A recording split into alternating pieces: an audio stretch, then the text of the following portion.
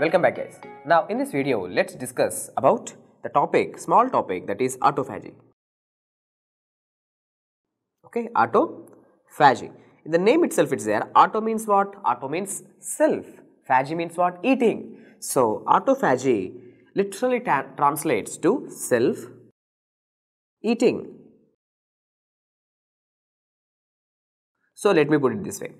See, for example, you are not eating anything. Okay, you are doing fasting.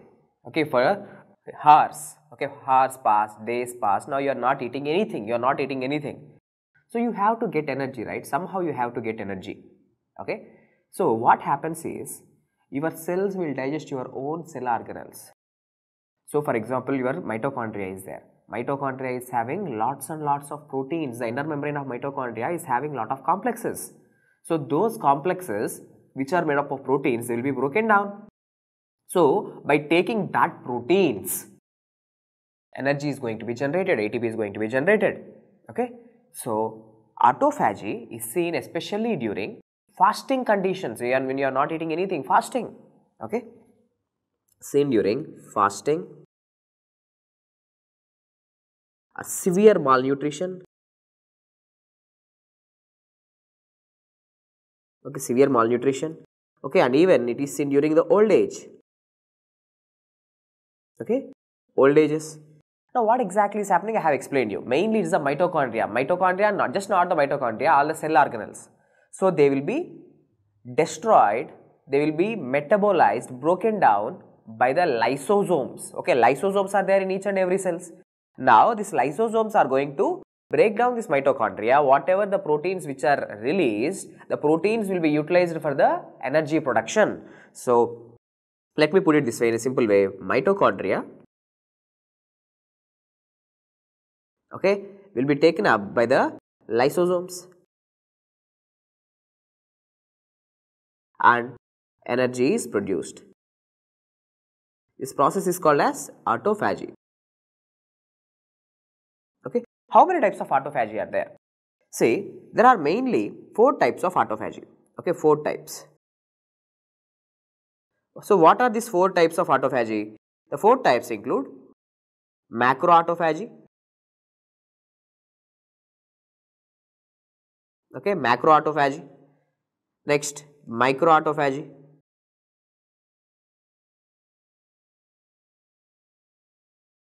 next mitophagy, okay, mitophagy. And the fourth one which is chaperone mediated, chaperone mediated autophagy. So, let us see what are the differences between this microautophagy, macroautophagy, mitophagy and as well as the chaperone mediated autophagy. Now, first let us begin with the macroautophagy. See in macroautophagy, see first let us write with the macro.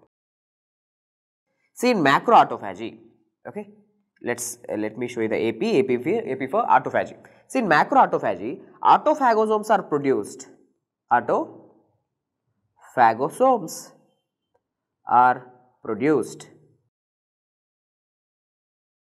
So, what exactly are these autophagosomes sir if you ask me?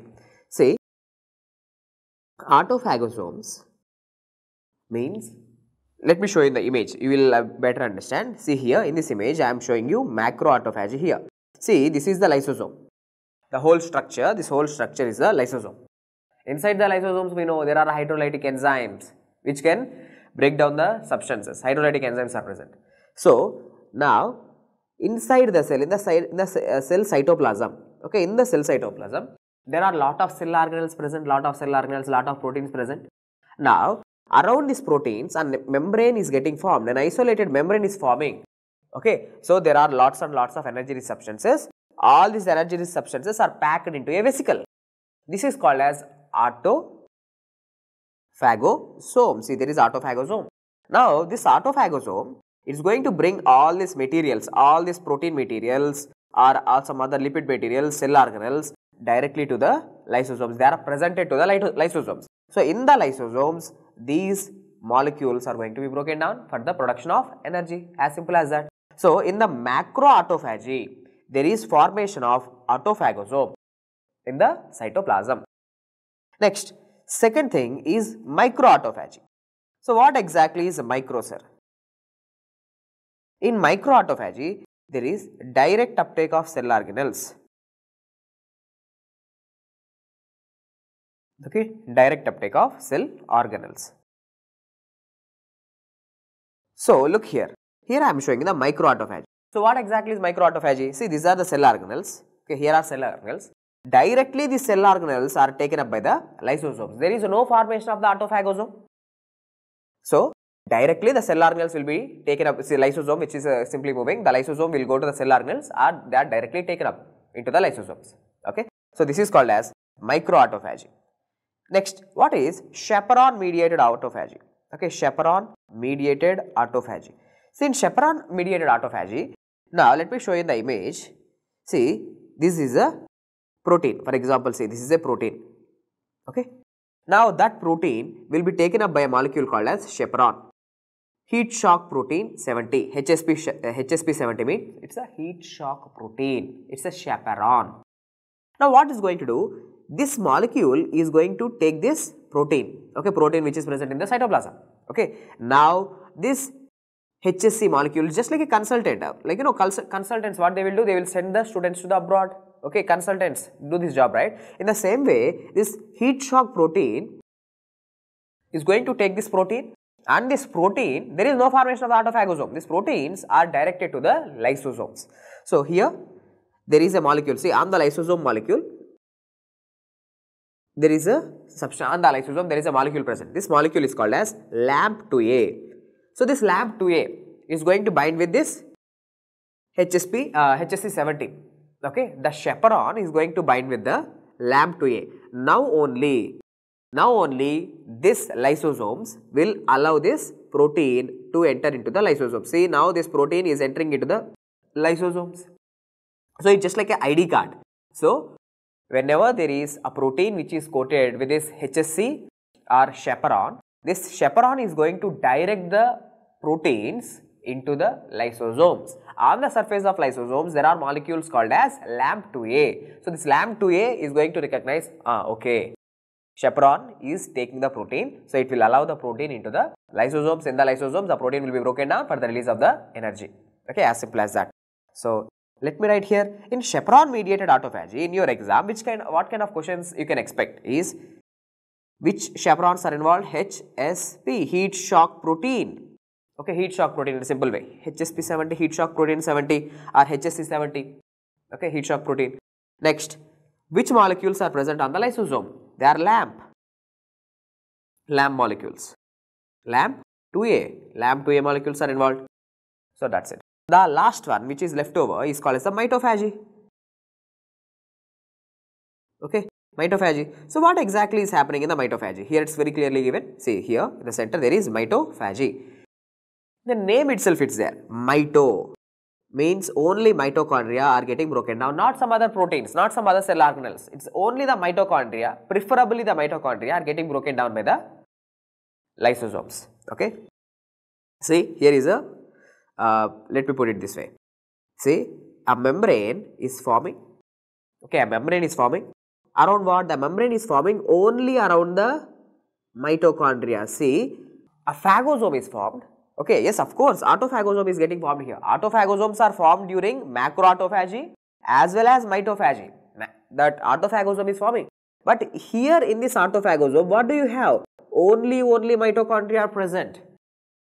But here, multiple substances are present look multiple proteins multiple cell organelles different different substances can be present but in mitophagy it's preferentially only mitochondria so autophagosome is formed that autophagosome is going to bind with the lysosome see this is the autophagosome is going to bind with the lysosome. Now it is called as autolysosome. So autolysosomal formation. A phagosome is going to bind with the lysosome. We form the autolysosome. Now these hydrolytic enzymes are going to be released here. So leading to the degradation. Okay, leading to the degradation of the mitochondria. Proteins are going to be released, the proteins are will be involved in the production of ATP. So, energy is going to be released. Say during severe starvation conditions, malnutrition conditions, so self-eating, your body is trying to eat your own organelles for the production of energy. From outside, no energy is going. So your body is eating up your own proteins, own mitochondria, own cell uh, like uh, cell organelles. Okay. Now important points which I want you to know is see in this process of mitophagy are you able to appreciate some molecules are present two important molecules are present pink and parkin. So pink and parkin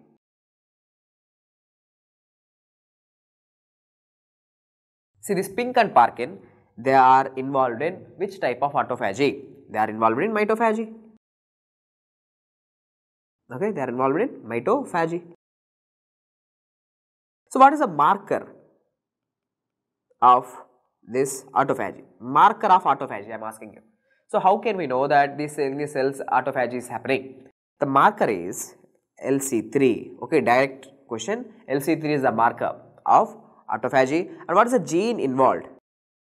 Gene responsible for this autophagy it is ATG1 okay. ATG1 gene is involved in the process of autophagy and marker for autophagy is LC3. Pink and Parkin are involved in mitophagy. This LAMP, LAMP2A and heat shock protein are involved in chaperone mediated autophagy. Autophagosomes, okay, autophagosomes are going to be produced in C in two things. One is macroautophagy as well as mitophagy, you will see autophagosome formation.